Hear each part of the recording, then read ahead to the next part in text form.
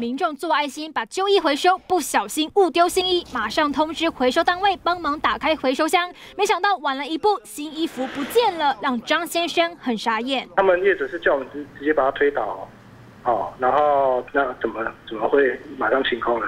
回收业者当下要张先生自己把回收箱搬倒，自行取回误丢的新衣。不过仔细看，回收箱里锯齿铁片防盗设计，想要从里面拿出衣服不容易。如果有类似的情形再发生的话，我希望啊民众可可以跟当事人哦接触，或者我们清洁队来做一个反应，我们会更积极的来为民务为民来服务。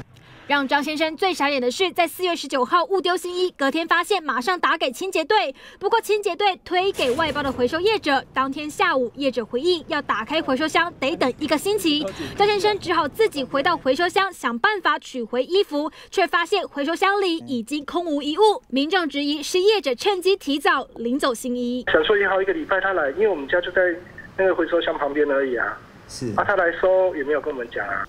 啊，下晡我去收尔，拍看，阮物件拢完无去啊。嘿嘿嘿。同行又是同行，还是什么人资源？啊，也会去偷收。